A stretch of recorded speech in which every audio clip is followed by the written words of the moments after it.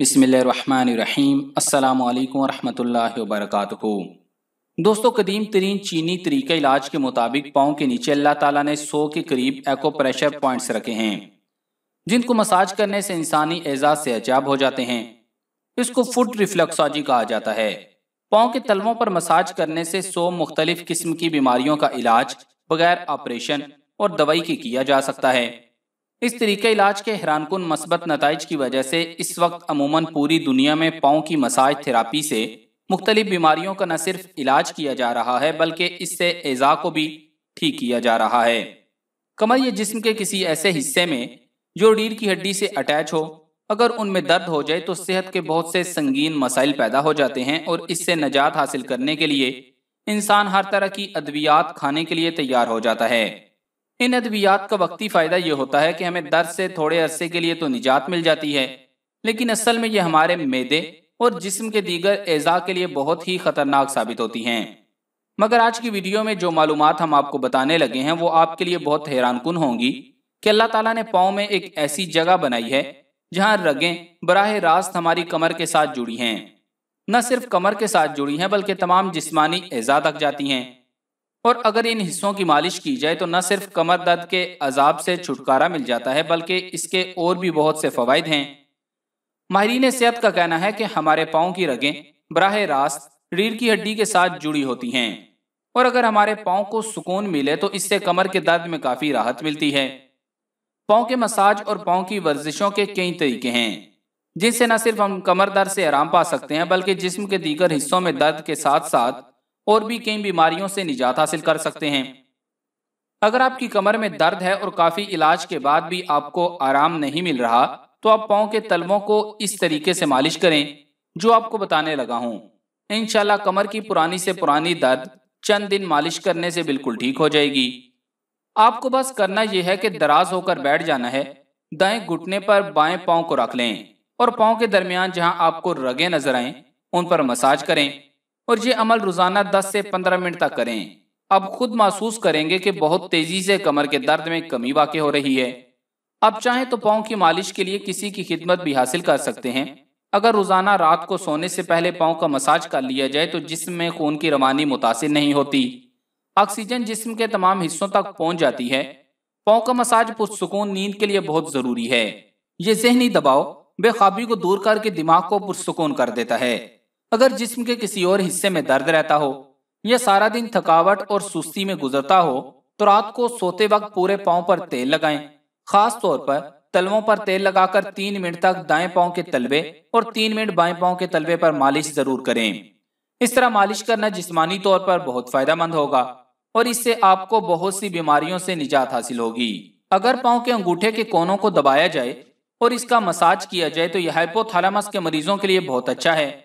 ایسے لوگ جنہیں وزن کا مسئلہ درپیش ہو، تو انہیں چاہیے کہ اس جگہ یعنی پاؤں کے انگوٹھے کو دبائیں۔ اسے دبانے سے نہ صرف آپ کی بھوک کنٹرول ہوگی، بلکہ آپ کا وزن بھی قدرتی طور پر کم ہوگا۔ اگر انگوٹھے کے درمیان والی جگہ پر مساج کیا جائے، تو اس کا پچوٹی گلینڈ پر اچھا اثر پڑتا ہے۔ اگر آپ اس جگہ کو دبائیں گے، تو ہارمونس کے عدم توازن کا مسئلہ ٹھیک ہو جائے گا۔ اگر انگوٹھے کے نیچے والی جگہ کو دبایا جائے، تو یہ تھائرائڈ گلینڈ کو ٹھیک کرے گا۔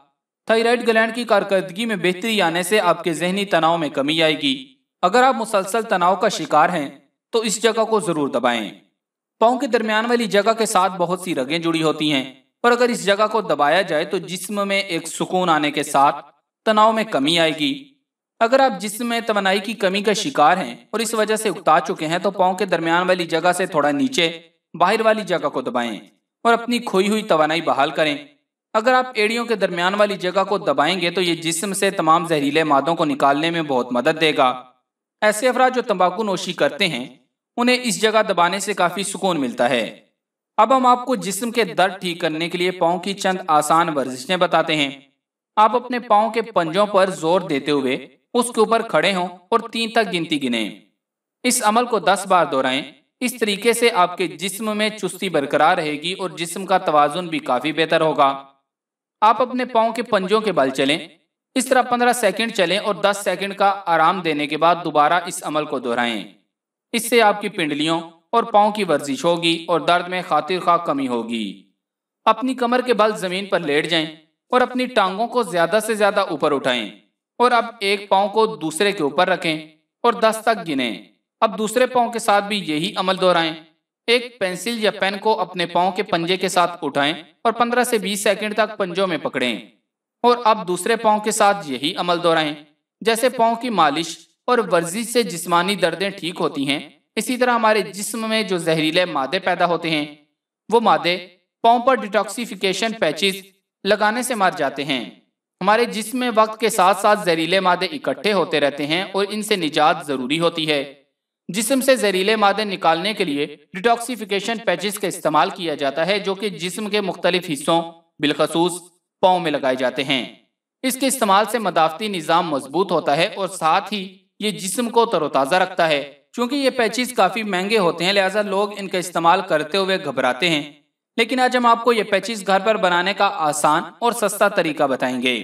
ایک ایلومینیم فائل لے کر دس ضرب چھ سینٹی میٹر کا ٹکڑا کاٹ لیں۔ اب مختلف ہربل اشیاء جیسے ہلدی، سبز چائے، چمبیلی چیلی پاؤڈر اور وٹامن سی پاؤڈر کو مکس کر لیں۔ ان تمام اجزاء کو اچھی طرح باریک کر لیں اور فائل میں ڈال دیں۔ اس کے بعد انہیں روئی یا کپڑے پر ڈال کر پاؤں سے باندھ دیں اور ساری رات لگا رہنے دیں۔ اب کچھ لوگوں کا احوال بتاتے ہیں جن کو کافی عرصے سے مختلف جسمانی تکلیف تھیں، مگر پاؤں کی مالش اور خصوصاً پاؤں کے تلووں کی مالش کرنے سے تمام تکلیف سے چھٹکارا مل گیا۔ ایک خاتون کہتی ہیں کہ میرے نانا ستاسی سال کے فوت ہوئے۔ نہ کمر جھکی، نہ جوڑوں میں درد ہوا، نہ سر درد، نہ دانت خط۔ خاتون نے کہا کہ ایک بار باتوں باتوں میں نانا جی بتانے لگے کہ جب میں کلکتہ میں ریلوے لائن پر پتھر ڈالنے کی نوکری کر رہا تھا، تو مجھے ایک سیانے نے مشورہ دیا تھا کہ سوتے وقت اپنے پاؤں کے تلووں پر تیل لگا لیا کریں۔ بس، یہی عمل میری شفا اور فٹنس کا ذریعہ ہے۔ ایک سٹوڈنٹ نے بتایا کہ میری والدہ اسی طرح تیل لگانے کی تاکید کرتی ہیں اور بتاتی تھی کہ بچپن میں میری نظر کمزور ہو گئی تھی۔ جب پاؤں پر تیل لگانے کا عمل مسلسل کیا تو میری نظر آہستہ آہستہ بالکل مکمل اور صحت مند ہو گئی۔ ایک صاحب جو کہ تاجر ہیں، انہوں نے بتایا کہ میں چترال میں سیر و تفریح کرنے گیا ہوا تھا۔ وہاں ایک ہوٹل میں سویا، مجھے نیند نہیں آ رہی تھی۔ میں نے باہر گھومنا شروع کر دیا۔ میں باہر بیٹھا تھا اور رات کا وقت تھا۔ بوڑھا چوکیدار مجھے کہنے لگا، کیا بات ہے؟ میں نے کہا، نیند نہیں آ رہی۔ وہ مسکرا کر کہنے لگا، آپ کے پاس کوئی تیل ہے؟ میں نے کہا نہیں۔ وہ گیا اور تیل لایا اور کہا اپنے پاؤں کے تلووں پر چند منٹ مالش کریں۔ بس، پھر کیا تھا؟ تھوڑی دیر میں ہی میں خراٹے لینے لگا۔ اب میں نے معمول بنا لیا ہے۔ ایک اور خاتون کہتی ہیں، میں تھائرائیڈ کی مریضہ تھی۔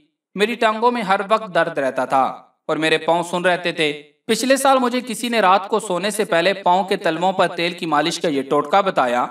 میں مستقل کر رہی ہوں۔ اب میں عموماً پرسکون رہتی ہوں۔ پیارے دوستوں میں امید کرتے ہیں کہ آپ کو آج کی اس ویڈیو سے بہت سی مفید معلومات ملی ہوں گی۔ تو جلدی سے ویڈیو کو لائک کر کے اپنی پسندیدگی کا اظہار کریں، چینل کو سبسکرائب کریں اور صدقہ جاریہ کی نیت سے اس ویڈیو کو فیس بک اور واٹس ایپ پر زیادہ سے زیادہ شیئر کر دیں۔ جزاک اللہ۔